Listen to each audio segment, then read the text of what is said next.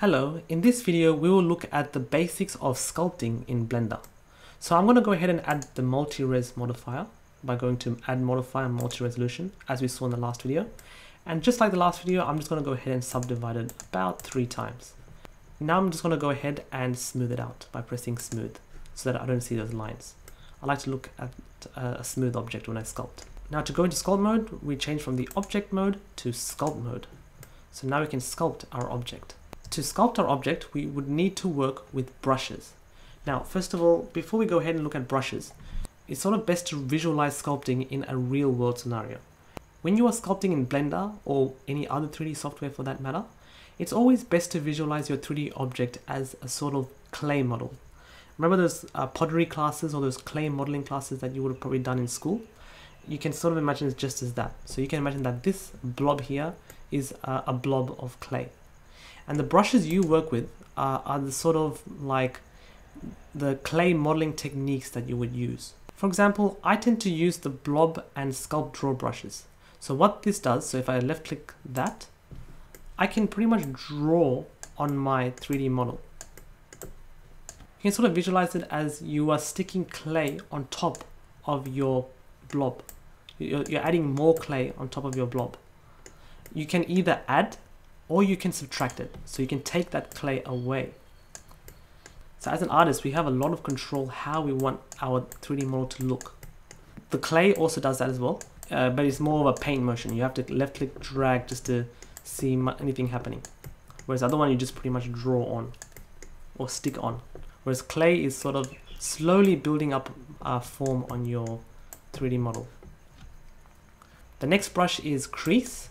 You can sort of visualize this as taking two of your fingers and sort of pinching your um, models together.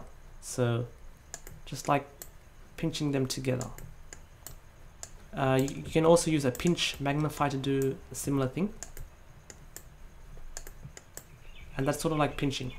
Uh, this is used to uh, create contours and edges for your 3D objects. Um, smooth, well, it's, this one's pretty obvious. It just smooths out everything out. So you can sort of imagine that as if it was like, um, like sandpaper a little bit. It just smooths out your object and makes it look uh, less sharp.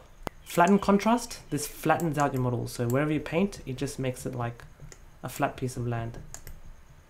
Uh, snake hook, um, you can sort of imagine as if you are sort of forcing a tail to grow out of your object or ears. So I've, I've just made two, two rabbit looking ears there.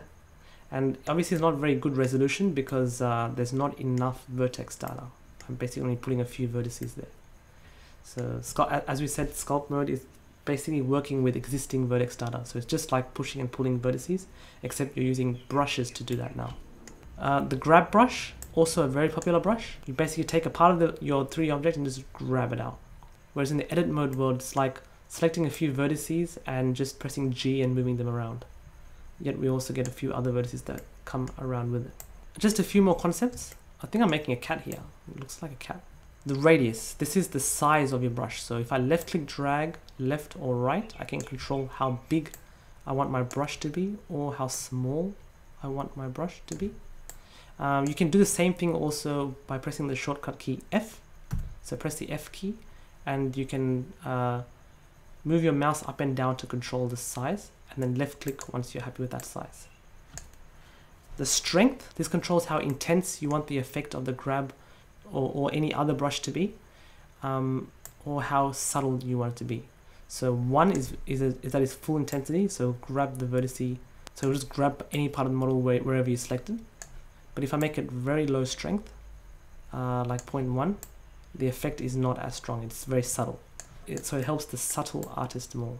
And when you're working with very detailed models like character models, you probably want to keep it more subtle. Another brush that I also tend to use is the inflate deflate. You can sort of imagine an inflate deflate as your clay model pretending to be a balloon. So if you want to inflate, your balloon pops out like that.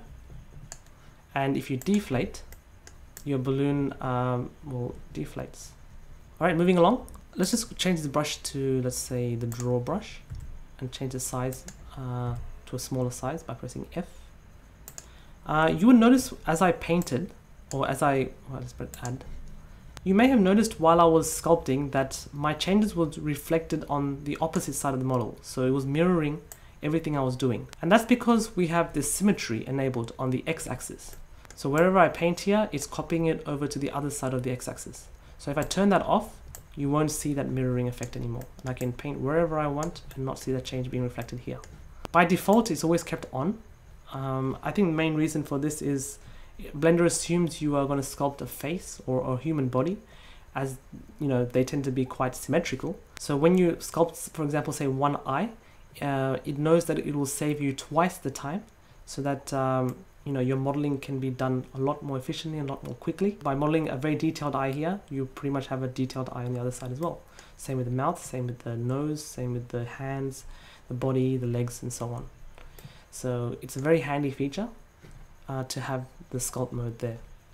Another one is the curve uh, tool. This is uh, a bit more ad for advanced sculptors. Uh, this basically uh, controls the fall off of your brush.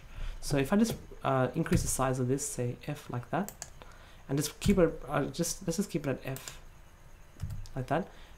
Uh, let's rotate this way. Okay, F. You can see that this curve, the, the current selected curve we have, is giving a fall off like that. So some of the sculpting, a lot of the sculpting is done in the middle, uh, and tends to fall off around about the edges. If I select something like say this one here, the fall off is uh, sharply in the middle and it, it falls off. So if I press F, you can see the effect in action. So most of the sculpting is done right in the middle and it falls off pretty much immediately. At this one, uh, straight line, I press F, the sculpting mode takes equal effect everywhere according to the size of your brush. You don't have to rely on this curve to be a fall off controller, you can also use a texture. So textures are pretty cool. So for example, if you have a lizard skin texture, you can literally paint a lizard skin on top of your model. So you can make our, our cat looking head have lizard skin, which is quite possible.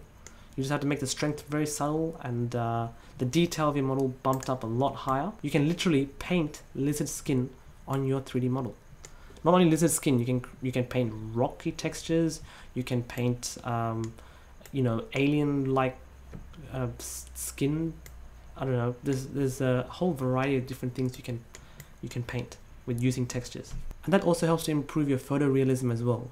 When you use real textures to help create uh, the real bumps of your 3D model. It adds more detail to your 3D model and it just looks a whole lot better when it's rendered. So I hope this video has been helpful to you. In the next video, we will look at dynamic sculpting in Blender.